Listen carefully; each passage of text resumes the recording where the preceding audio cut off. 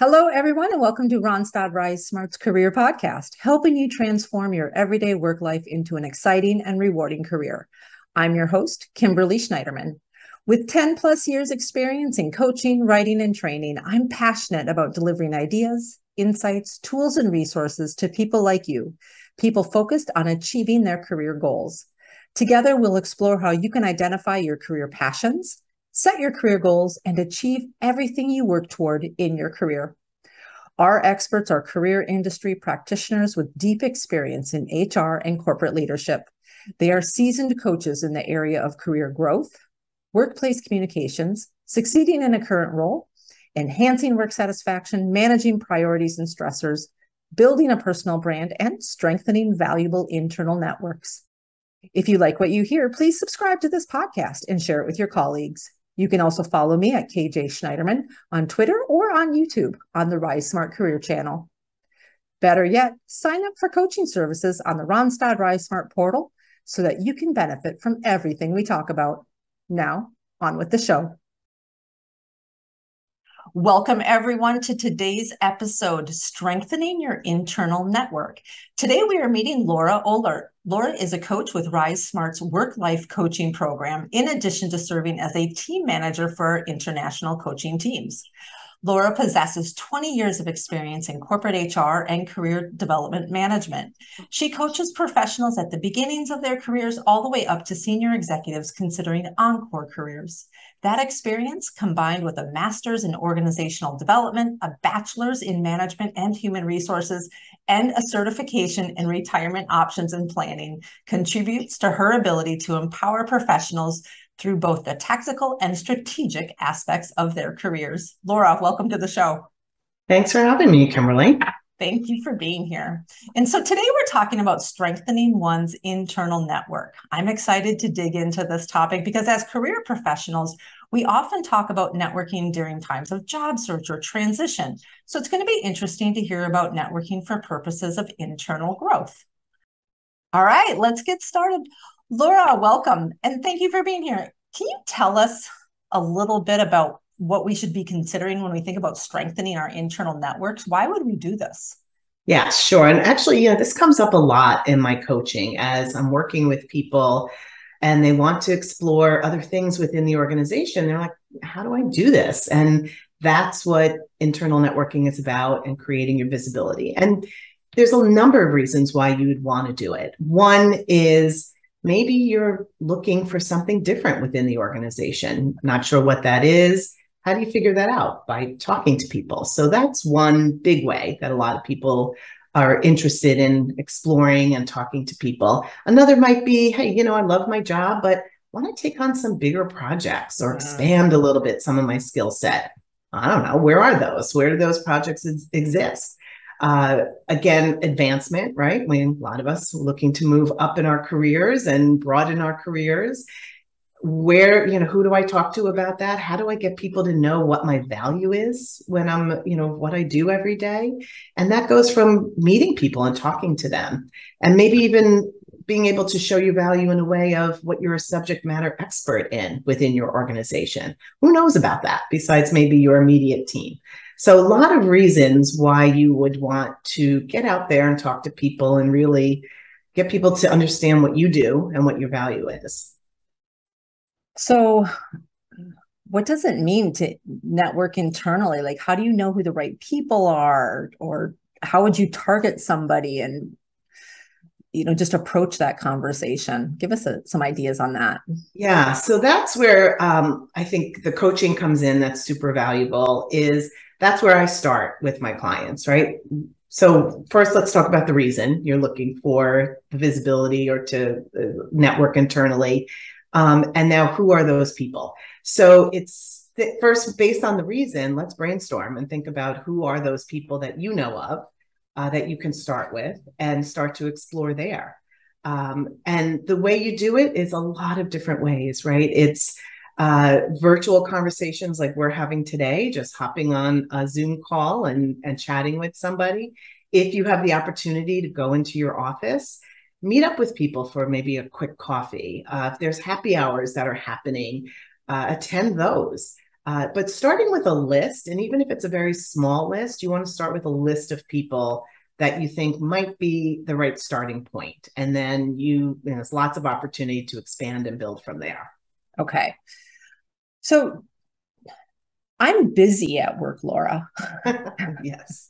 Are you? yeah, I am. and and while I might want some juicier assignments or I might have an idea I'd like to pitch, I don't know when I'm going to find the time to mm-hmm. like to start doing this magical internal networking.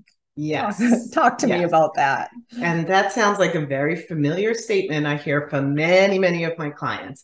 And it's true, right? We we have our work life of what we need to get done in our jobs day to day and we have our families and whatever else is going on in our lives. How do I have time to do this as well?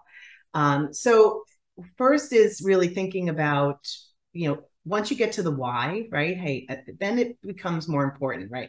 I understand why I want to do this and why it's important to me. Now let's get to the how, how we're going to do it. So I really work with participants, I think less is more with my clients, right? A lot of times they have big aspirations of going out there. I'm going to meet with five people a week and I'm really, you know, going to go all in. Um, and then you don't want to set yourself up to fail, right? So I'm much more, let's start with a little bit less. Maybe it's one person a week. Uh, do you have an hour in your week that you can literally schedule it in your calendar? I think that's a big piece of success. If it's only even 30 minutes, whatever that time frame is that you think you can give, let's schedule it. When is it? Is it on a Friday? Is it on a Monday? Let's put it in your calendar. And then the next step is what are you doing with that 30 minutes or that hour? Are you brainstorming who you need to talk to? Are you actually picking up the phone and calling people? What do you want to achieve in that time that you have to commit? And I'm big with setting goals, like quantitative goals. I'm going to email three people. I'm going to call two people. Uh, then, when you finish that 30 minutes, that hour, whatever the time it is you had to commit, you feel that success like, oh, wow, I really did something. Uh, and then maybe we can build on that the next week. Maybe you'll have an hour and a half the following week. And maybe the week after that, you have no time. But it's kind of staying committed to what makes sense for you and really seeing the achievements from that. So it's not also just, all right, I'm going to carve out an hour. You have to know what you're going to do with that hour so that you feel that success and that you're moving the needle forward. I like that. And as I'm as I'm sitting here and I'm thinking about this half hour to hour that I might spend this week doing some internal networking, I'm also wondering, is my manager going to be on board with this? Like, right. what do I need to do to make sure things are good from that perspective? Yes, very good question and very important step in this whole process so that's really the starting point you know so i work with my clients it's you know we can coach come up with plans set goals that's great but you need to have your manager on board right supporting you and feeling that you know this is also this is valuable. So that is something else i work with with my clients on how to have that conversation with your manager. Uh, and it is a conversation and you want to make sure you have time carved out, scheduled the time just for this, right? Because we know how you have that one on one, and I'll just add it on to the one on one, and you, and then it doesn't happen, right? right? Schedule time, even if it's 10, 15 minutes, to say, hey, this is what I'm thinking about. This is why I'm looking to expand my network, get more visibility in, in the organization. This is the time commitment I'm thinking it might take me, at least to start. And I would love your support or love your thoughts on moving forward with this. Uh, my experience is that managers are very supportive. Uh, you know, as long as you can still say, yeah, believe me, I'm going to get done what I need to get done in the day. This is on me, but I want you to know that this is something that's important to me and would like your support. That's all you're asking for uh, at that point. That's great. We talked at the beginning, we use this phrase increasing your visibility. What what does that mean to somebody? What would they be doing? What's included in that? Give me some examples. Yeah. So, um, actually, I have a story that oh, I could share that yes, I think please. would be a great example of, of, of all the pieces that we were just been talking about. So, I recently was just working with a uh, work life coaching client, Julia, uh, who had been at the organization for 10 years in a marketing role, loved her role, very happy, but was starting to think about, you know what, I think I can do more than what I'm doing. Yes, I'm happy and love coming to work every day, but feel like there's more in me to do. So we started working together, first thinking about what is that? Is it still within marketing? Is it something totally different? And she determined it's marketing. I love marketing. I want to stay there, but I know there's other types of roles out there and I just don't know what they're all about. So we started off with the, you know, what the more would look like. Mm-hmm. She had a meeting with her manager and expressed just that like, hey, I've been here a long time. I think there's more I can do. And her manager was 100% on board, totally agreed with her, and said, you know, go for it. So she, but first didn't really know, you know, she no clue what what she wanted to do with this. So she had a couple of key people we brainstormed. She had a list of like three to five people that she came up with that she said, you know, I think that they'd be open to networking with me, talking with me. So she started with the ones that were comfortable for her, which I think that's a a great tactic, right? So this isn't easy for everybody to do. So don't start with somebody that might be the most challenging.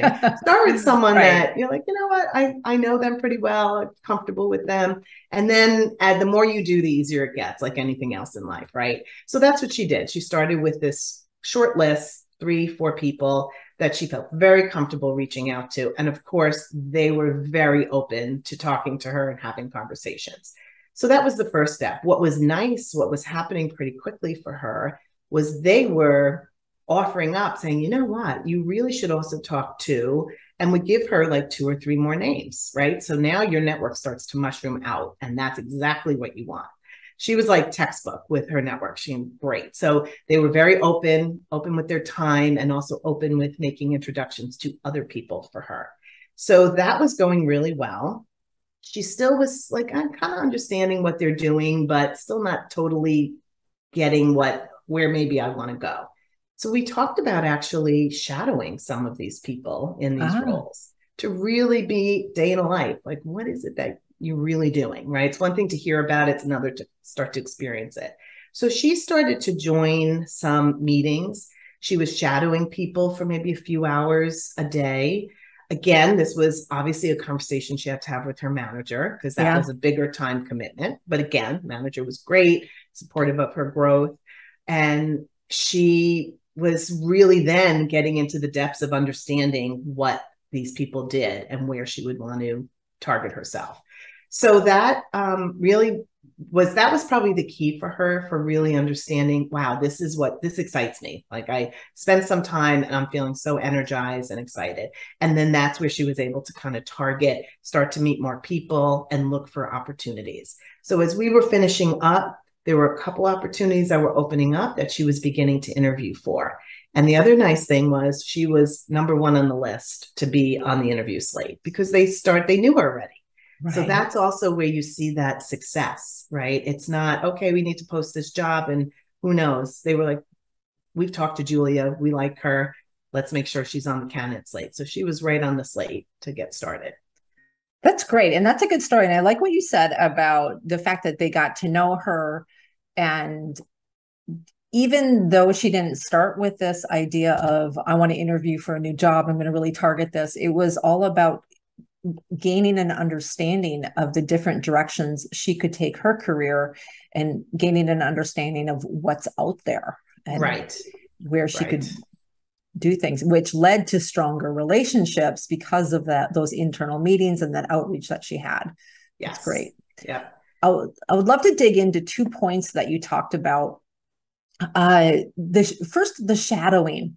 Can, mm-hmm. can we revisit that? What does it mean to shadow somebody in a job when you're not an intern? Uh you right. know, you know you've been in your role as your client was julia for 10 years. How does how did she physically shadow? What did it look like and what did it mean in, on a typical day yeah so and this was virtual too um, yeah you know their their company they're still all working virtually so one was sit in on a couple of our client meetings so she sat in on client meetings I mean, this is how open they were, which was amazing. Um, and then there were some reports that, that these individuals were working on. And they were sharing their screen, kind of going through the reports, what they did. because that she was more of an in an analyst role. So they were showing her that analytical side of what their role was about. Uh, I think what really excited her was those client meetings, though where she could see how they were how they went. I think she was always a little intimidated like oh i don't know if i could be client facing ah. uh, and that's what she wanted to explore a little bit more. Love the analytical super big strength of hers. So by sitting in on those client meetings i think it gave her the confidence to say you know what? I think i can do that you know it's kind of the unknown right so uh, thinking going into it it's well i don't know if i can do that right i've been an analyst all these years how could i be client facing uh, and of course, she wouldn't be in the role that she would do that day one, but just being able to sit in and see how it went, what happened. She, the skills that she picked up from that and what she learned gave her the confidence to say, you know what, I think I could do that. Yes, I need training and I would be developing and ramping up to that, but I think I could do it. And I think I would love doing it. So that's, I think, was now not everybody is as open. I, I, realize that, that shadowing can sometimes be a challenge to make happen. But in this case, she was able to find a couple of people that were very open to just bringing her into the fold. And here's the other thing she's internal already, right? You're not bringing somebody from outside the organization in on this. She's an internal employee. So that's the other benefit, I think, to being able to move around internally. You're already a known quantity. They they knew her value. She was very valuable to the organization. And that I think helped with people being open to having her do this. And it also sounds like it wasn't that much of a lift on the other people's part. I mean, they were inviting her right. to a meet to sit in on a meeting, and they sent her reports or g- gave her materials for things that they were working on not necessarily right. huge time consuming actions on their part which makes it easier for them to say yes. Yes exactly. And what what was nice with julia was somebody offered it. She didn't even think about it at first. And somebody offered it to her like hey maybe you want a shadow. That was such a good experience and it gave her the confidence in other networking situations to actually ask for it. You know if you don't ask you don't get right? Right. so the time but it didn't really occur to her in the beginning. But then somebody was nice enough to offer it. And then she was like, you know, I'm going to ask for it again. And she was able to do it in a few situations. It was nice. Sounds great. So we've yeah. talked about visibility or internally networking so that to raise your visibility in terms of maybe shifting positions in the organization, uh, proposing and getting some juicier projects, whatever that means to an individual uh, getting advancement or bigger roles over a long run. Uh, becoming more of an expert, I guess, is another area mm-hmm. where you can increase your uh, your expertise and your visibility through internal networking. Those are all great ideas. Laura, if if you had to give people four actions to do today to think about, what would they be? Okay, great. So I think first is setting those goals and intentions, right? Why do I want to do this? Um, and how much time can I commit to doing this? Um, and that goes back to, you know, the why, which is do I just want more visibility? Do I want a new role? Really thinking that through. Second would be talking to your manager, right? You don't want to talk to your manager first. You want to know your why and you want to be able to share your how you're going to do it with your manager so your manager doesn't say, well, that's great, but we're really busy right now, you know, can't do it. Well, this is what I'm thinking, right? I'm going to commit one hour a week. So after you set your goals and intentions, then schedule a dedicated call or meeting with your manager just to discuss this, right? So that you have that committed time with them. And it's super important to have their buy in and their support before you move ahead. Plan your calendar. Okay, so I got the commitment. I know my why, I know my how when am I doing this? All right, Fridays tend to be a little bit of a quieter day for me. I can carve out an hour in the morning and then literally put it on your calendar and decide what you're going to do with that hour. And then creating that networking list is big. When so if in that planning time you want to know who you want to reach out to and why you want to reach out to them. And then I think what's really key and important to success is having an accountability partner. So if you have a coach, like when I was working with Julia, I was her accountability partner through the, every step. Uh, if you don't have a coach, maybe you have a mentor, a colleague that you trust that you feel you can bounce things off of, or a friend, uh, anybody to be able to say, "Hey, this is what I'm thinking." Kind of like let's let's spitball this a little bit. What am I missing? What do I need to be prepared for? That's really helpful. So you don't feel like you're doing it alone. And then it's just doing it. Then you're just getting it. out there and doing it. Got it. You got to do it, right? Right. Right. So, all right. So the four actions setting your goals, naming your why, talking to your manager, getting their buy in, and I guess having a plan together when you talk to that manager as well, not just in there in that meeting all enthusiastic about what you want, but you a solid action plan, the return on investment for the organization or the company probably be included in there, what it's going to bring to them. Yes. Yes. Definitely. And then planning your calendar, planning your actions, and getting your accountability partner. I like all of that. That's great. Laura, what else would you like to uh, say to our listeners today before I ask you our final question? Just that I think that not, there's no substitute to networking, gaining visibility. And I think it's scary for a lot of people to think about doing it. I don't want to bother people. Everyone's busy. We have a million reasons why we may shy away from doing it. But most people, the majority of people that I work with and that go through this process, people are very happy to be helpful, offer their expertise, and talk to you. So just have confidence that, you know, yes, people want to be helpful. They want to um, share what they know and be able to help you and start with who's easiest. I think that's another really big final tip is start with who's most comfortable to, for you and then work your way to maybe some more challenging networking conversations. That sounds great. Laura, I think I'll be setting up an internal networking meeting with you soon to talk about some ideas that I have. Love it.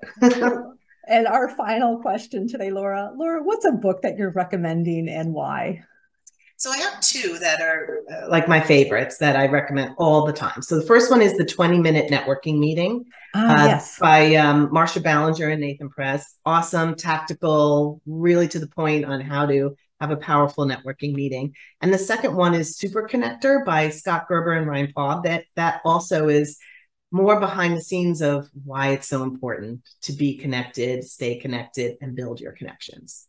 That's great. Laura, thank you. And in fact, Nathan Perez will be a guest on an upcoming episode of this podcast. Oh, so we great. Yeah, we're going to learn some of those tactical suggestions from him on uh, how to actually do the networking once you've figured out the why and the time for it. So, Laura, thank you so much for your, your time today, for your expertise today. I really liked what I heard about increasing my visibility at work and helping myself get exposed to new opportunities within an organization. So, thank you. Well, thank you so much for having me. It's my pleasure. Thank you. Uh, and thank you to Laura for helping us understand internal networking today. If you would like to learn more or connect with Laura, you can find her on LinkedIn. Just search for Laura Olert, O L E R T. She is also one of our work life coaching coaches and can be found in the coaching profiles on the RiseSmart portal. Everybody, have a wonderful day. Thank you so much for joining us, and we'll see you for the next episode. Thank you. Thank you for listening to today's episode of the Randstad RiseSmart Career Podcast, helping you transform your everyday work life into an exciting and rewarding career. I thank our expert today and encourage you to tune in for our next episode where we continue talking about how you can identify your career passions, set your career goals, and achieve everything you want to work toward in your career. If you like what you hear, please subscribe to this podcast and share it with your colleagues. You can also follow me at KJ Schneiderman, that's KJ K J S C H N E I D E R M A N, on Twitter or on YouTube on the RiseSmart Career channel. You can also sign up for coaching services in the Randstad RiseSmart portal so you can directly benefit from everything we talk about.